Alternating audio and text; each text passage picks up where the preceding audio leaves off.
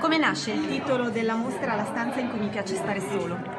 Mm, l'idea che è alla base del progetto La stanza in cui mi piace stare solo consiste nel attivare eh, dei laboratori da me condotti all'interno di due servizi che si occupano di disabilità dell'adulto, eh, il CIS di Domodossola e questo progetto che è Idea Copernico che è all'interno di un CDD di Milano. La stanza in cui mi piace stare da solo perché in questi laboratori si è affrontato eh, il tema delle passioni personali, degli interessi personali, delle manie degli, delle idiosincrasie e, e, quindi quel luogo in cui posso stare da solo e posso esprimermi al meglio ed essere veramente me stesso. Grazie. Qual è il ruolo del CIS e l'obiettivo di questa? Dunque, qui ehm, oggi c'è un evento importante perché c'è la collaborazione intanto di più enti e di altri protagonisti del terzo settore come le cooperative ma di più enti perché sono il comune di Domodossola che peraltro vorrei qui ringraziare perché sono dieci anni che mette a disposizione i locali per il gruppo appartamento e il CIS.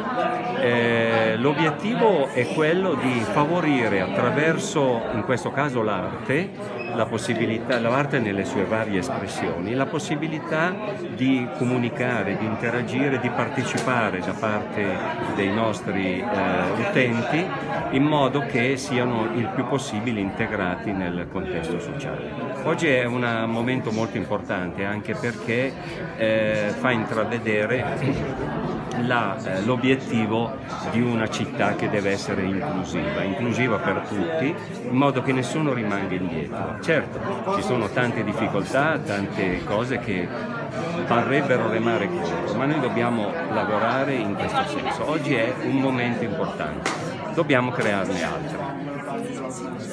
Allora, vediamo un po'. Uno vuoi? Arte declinata in termini sociali e preziose collezioni ritrovate, Palazzo Silva si svela ai visitatori. Assolutamente, la stanza in cui mi piace stare solo è questa bellissima iniziativa eh, che vede protagonisti musei civici di Palazzo Silva eh, di Domodossola e due centri che si occupano di disabilità dell'adulto, eh, il CIS Ossola di Domodossola e eh, Idea Copernico di Milano.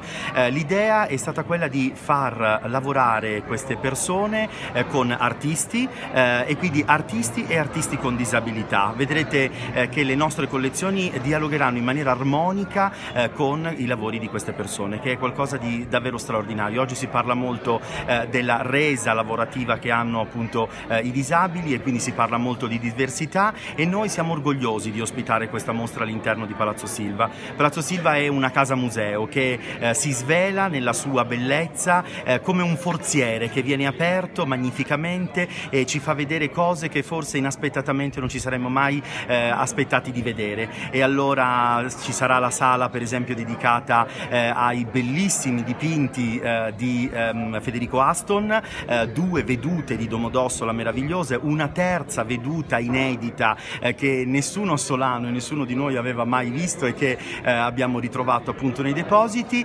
ehm, ma non soltanto perché poi appunto al piano superiore ci saranno delle collezioni immagini molto belle che eh, potrete assolutamente ammirare eh, e eh, soprattutto sono molto orgoglioso di dire che Palazzo Silva si svela eh, con il ritratto di Gian Giacomo Galletti eh, ad opera del Cavalli, un'opera rarissima che versava in uno stato conservativo pietoso e grazie ad un privato che ha voluto mantenere l'anonimato al quale io e tutta l'amministrazione comunale molto grato siamo riusciti appunto a restaurarla per cui assolutamente la vedrete. Per cui vi aspettiamo da stasera, da domani, eh, nei fine settimana di eh, luglio, agosto e settembre per eh, poter vedere Palazzo Silva, grazie alla, al contributo della Fondazione Ruminelli.